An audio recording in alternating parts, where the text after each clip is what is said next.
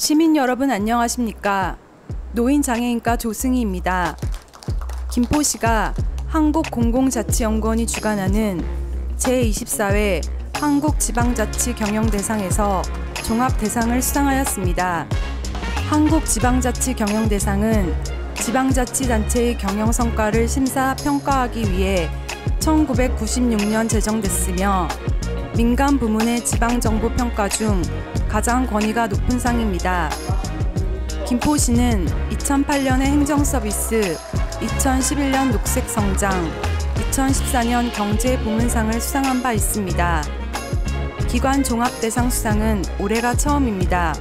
오늘 이 수상이 김포 시민들과 김포시 1,300여 공직자들과 함께 새로운 지방정부의 큰 길에 함께 하고자 하는 약속의 수상이라고 생각하고 있습니다. 하나, 둘, 셋. 다음 소식입니다. 지난 24일 제1회 김포시장기 항공대회를 진행하였습니다. 이번 대회는 올해 신년 간담회 당시 대한노인회에서 건의한 사항으로 그동안 노인의 날 행사와 함께 진행하던 것을 올해부터 단독 정식 대회로 처음 개최한 것입니다.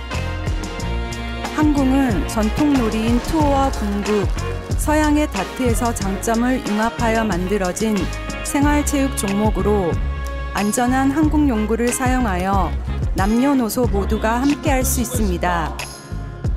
이번 주 소식은 여기까지입니다. 시민 여러분, 장마철 안전에 유의하시길 바랍니다.